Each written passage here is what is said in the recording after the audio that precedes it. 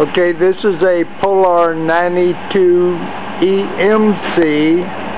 Larry's going to cut some paper.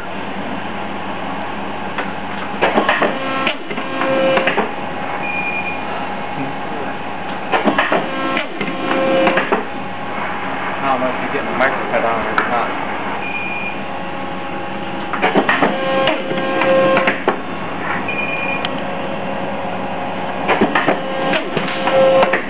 He has a program in it.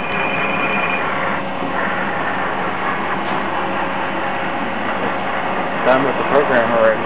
Okay.